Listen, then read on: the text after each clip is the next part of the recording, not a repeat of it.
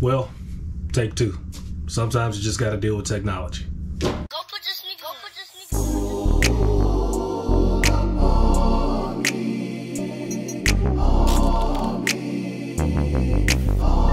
Welcome back, guys, to another great episode. My name is Eddie Wright, your favorite local to global pitmaster, here to talk about a gift package that we got in the mail from our friends at Pate's Pit Barbecue. I want to give a very big shout out to the husband and wife team for sending me a care package and asking me to give an honest review of their rubs. So before I do that, I want to welcome you guys to the BORC. That's the Black Owned Rub Club, and soon I will also be becoming a member. Thank you guys for the gift package. Let's get to it. As I said, this is the second time around. We've already done this. Our GoPro didn't do exactly what we wanted it to do, but have no fear, second time's always better. So, here we go. We start off with Pate's Pit Barbecue's all-purpose seasoning. This AP was great on the salt content, very light in color.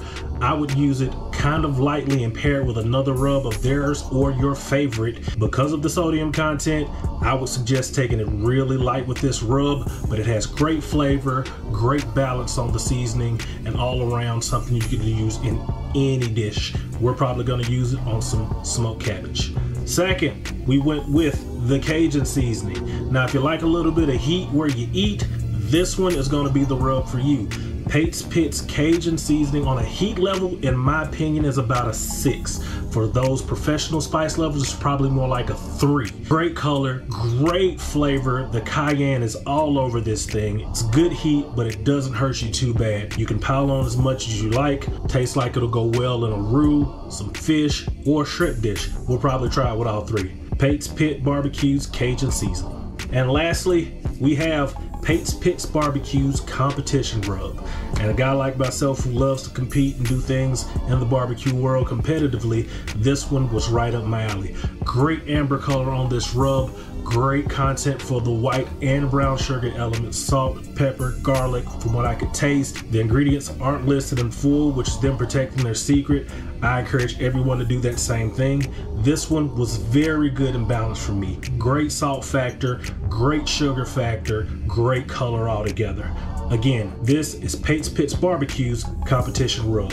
Once again, big shout out to the Pates for sending me this care package. I really appreciate it. I thank you guys so much for giving me the opportunity to honestly review your rubs. This is just part one of a few that we will do using your rubs over some great recipes. With that being said, hit that like and subscribe button for all new content and all great things surrounded by Eddie Wright Barbecue. Thank you guys for tuning in. We'll see you next time and always remember, you too can do amazing barbecue the right way. We'll see you soon.